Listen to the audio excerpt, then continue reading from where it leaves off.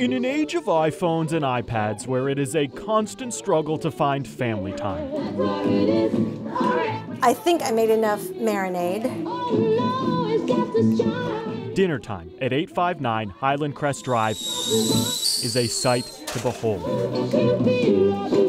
It's like this every night. Three different songs going on at the same time. It just gets crazy. Hence, hence the glass of wine during dinner. Don't let her glass of wine fool you. Linda Reese loves this nightly ritual almost as much as she loves her six kids, two of whom she is fostering. I'm Molly and I'm eight. I'm Giovanni and I'm 10. I'm Colby and I am 10. I am Max and I'm 10. I'm Marie and I'm 11. I'm Angel and I'm 12. Do you guys okay? Do you guys remember when um, this was a few years ago? Older sister Katie plays a role in all this too. We'll get to her in a moment. First, though, the explanation behind Linda's long standing house rule. There's no singing at the table. It's gonna be G. The Reeses are homeschooled, This and as a result, band class happens nightly in their basement.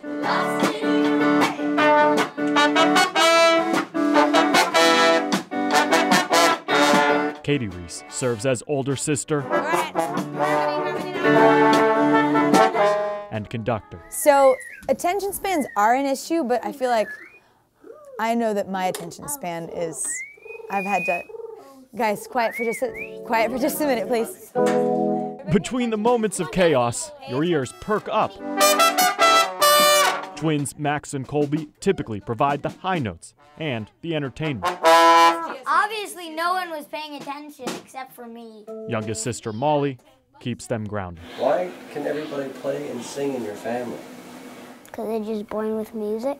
People always marvel at that. They think that it's um, odd that you know one family has so many uh, talented kids.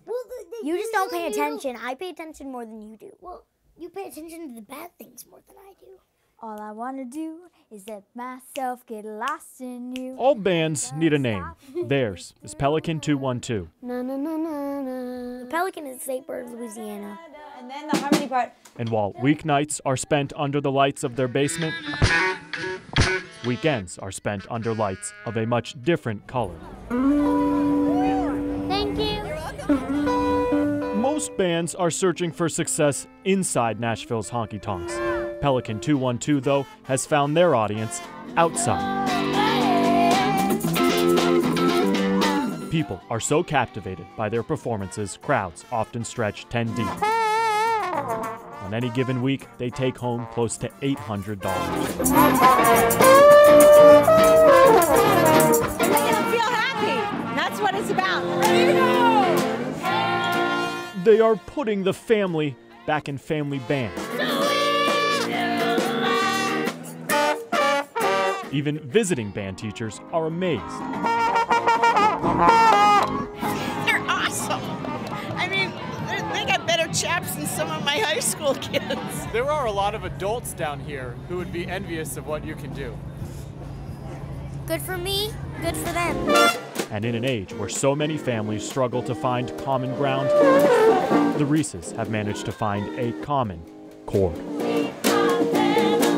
With photojournalist Nathan Sharkey, Chris Conti, News Channel 5 HD.